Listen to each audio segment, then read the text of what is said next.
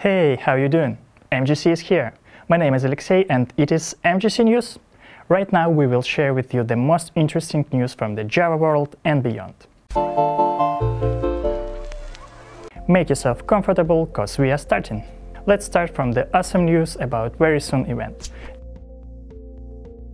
Java On Conference 2022 will be held between 7th and 8th December and it will be online and completely free. You can expect two days 10 talks and more than 3,000 participants. You will be able to listen to the speakers from 10 countries in topics about Scala, serverless, functional programming, big data and many more.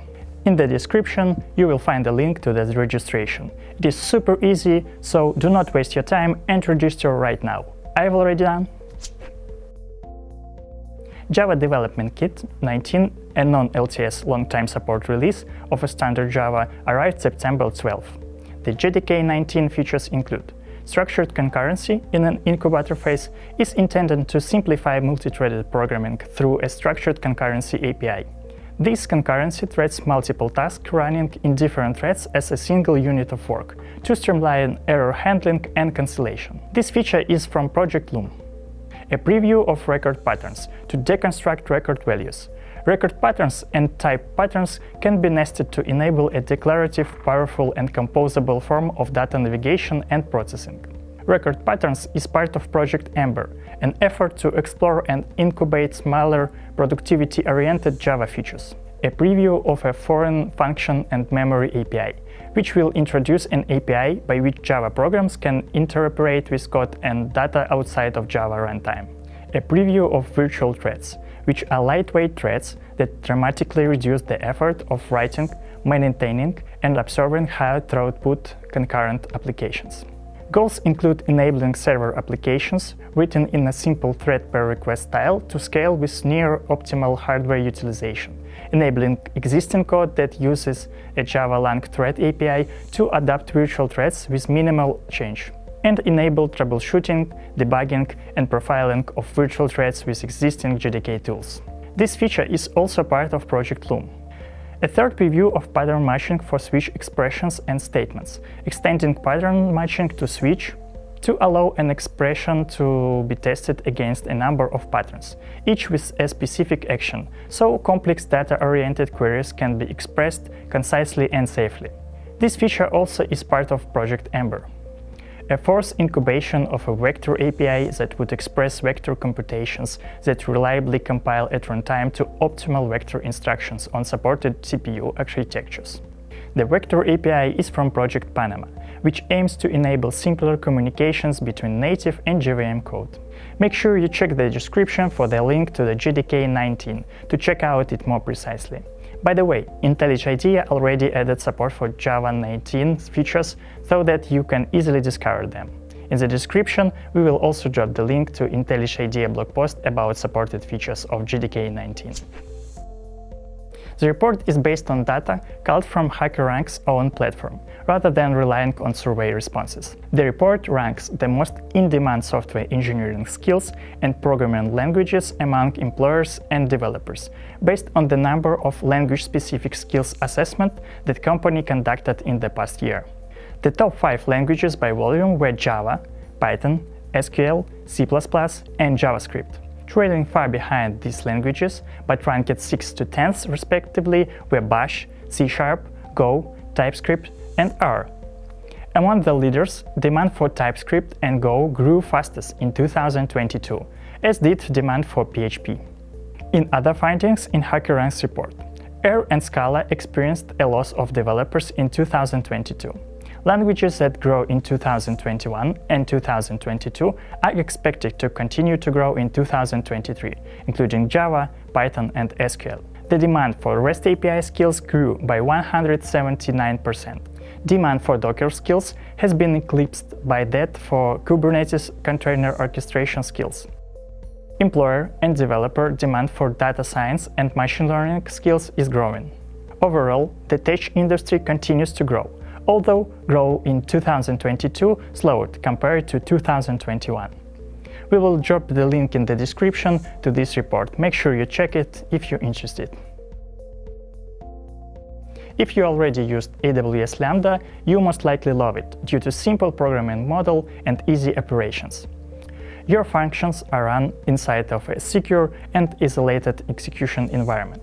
The lifecycle of each environment consists of three main phases – init, invoke, and shutdown. Among other things, the init phase bootstraps the runtime for the function and runs the function static code. In some cases, initializing the runtime for some languages can be expensive.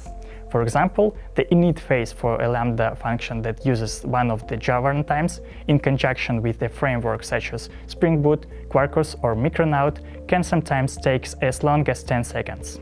Second, the static code might download some machine learning models, precompute some reference data, or establish network connection to other AWS services. In order to allow you to put Lambda to use in even more ways, AWS introduced Lambda SnapStart. After you enable Lambda SnapStart for a particular Lambda function, publishing a new version of the function will trigger an optimized process. The process launches your function and runs it through the entire init phase. Then it makes an immutable encrypted snapshot of memory and disk state and caches it for reuse. When the function is subsequently invoked, the state is retrieved from the cache in chunks on an as-needed basis and used to populate the execution environment. This optimization makes invocation time faster and more predictable, since creating a fresh execution environment no longer requires a dedicated init phase. If you would like to use SnapStart, you should be aware of some aspects to be Snaps resilient, uniqueness, network connections, ephemeral data, and so on. If you are looking forward to try this feature, the good start will be original announcement, which you will find in the description. Spring Framework 6 is generally available from Maven Central. This is the start of new framework generation for 2023 and beyond, embracing current and upcoming innovations in OpenJDK and the Java ecosystem. As a major revision of the core framework, Spring Framework 6 comes with the Java 17 Plus baseline and a move to Jakarta EE 9 Plus in Jakarta namespace. This provides access to the latest web containers such as Tomcat 10.1 and the latest persistence providers such as Hibernate ORM 6.1. Infrastructure-wise, 6 release introduced the foundation for ahead-of-time transformations and the corresponding AOT processing support for Spring application contexts. This enables first-class support for GraalVM native images with Spring Boot 3. Josh Long have already prepared a video with tips and explanation of ahead-of-time compilation engine and GraalVM. We will drop the link in the description. We also include a link to the full list of changes and features in Spring Framework. But Spring Framework 6 is not the only great news. Spring Boot 3 is now generally available too. It is the first GA version of Spring Boot that provides support for Spring Framework 6 and GraalVM. Highlights of the new release include a Java 17 baseline, support for generating native images with GraalVM, improved observability with micrometer and micrometer tracing, support for Jakarta EE10 with an EE9 baseline. Again, we will drop the link in the description with the release notes of Spring Boot 3. Please let us know in comments when you are going to update your Spring dependencies to the latest versions. Kotlin 1.8.0 beta has just been released. Along with that news, Kotlin team also shared the result of first Kotlin developer survey. Survey has been designed to help identify and prioritize the pain points that most significantly affect Kotlin user satisfaction. The collected data will be used to refine and prioritize the Kotlin team's plans. According to the first survey, the current Kotlin customer satisfaction score is 86%. The first round of research confirmed that the main pain points for Kotlin users are currently IDEA and build performance. The build setup was also among the top problems. The Kotlin team has already started improving build performance, with further steps planned. In general, Kotlin users are very satisfied with the completeness, quality and usability of the language support in the IDEs. However, the IDE performance clearly doesn't provide the best experience while using Kotlin. The customer satisfaction score is just 56%. Kotlin team has already taken many steps to fix IDE issues, and more are planned make sure you are using the latest version of your IDE. Kotlin coroutines, and Kotlin serialization are satisfying the needs of more than 80% of users. And Kotlin standard library is an ultimate winner with the 90% customer satisfaction rate. By the way, you can check out the Kotlin Library Safari YouTube series and see if you are using the full power of Kotlin gives you right out of the box. Kotlin team is going to gradually improve Kotlin Developer Survey and conduct it in a regular basis. So you have a real opportunity to influence the language and tools you are using. Lambda expressions were introduced almost 10 years ago in Java 8. It is a cool feature, but it is at odds with checked exceptions. The signature of Java's built-in functional interfaces doesn't use exceptions. It leads to cumbersome code when one integrates legacy code in lambdas. It is evident in streams. Nicolas Fränkel shared a post where he explains how we can manage such problem. Here is an example. Processing stream items, we would like to load a class by its name in map function. Since class for name declares checked exceptions, we need to handle it in map function. Since class for name declares checked exception, we need to handle it in map function, making code less readable. One of possible option is to encapsulate try catch block into a class. A good try can be a sneaky throws annotation from Lombok, but it doesn't work for an existing KPI at the moment. Next option is to use Apache Commons Lang utilities and Failable API in particular. It makes your code short and concise, but brings you runtime error instead of compile time. For more fine-grained control, you can use Vavr. Vavr is a library that brings the power of functional programming to the Java language. The first example fully relies on Java Stream API and Vavr's try and either monads. By the way, we've already shown you an example of either usage in our previous video.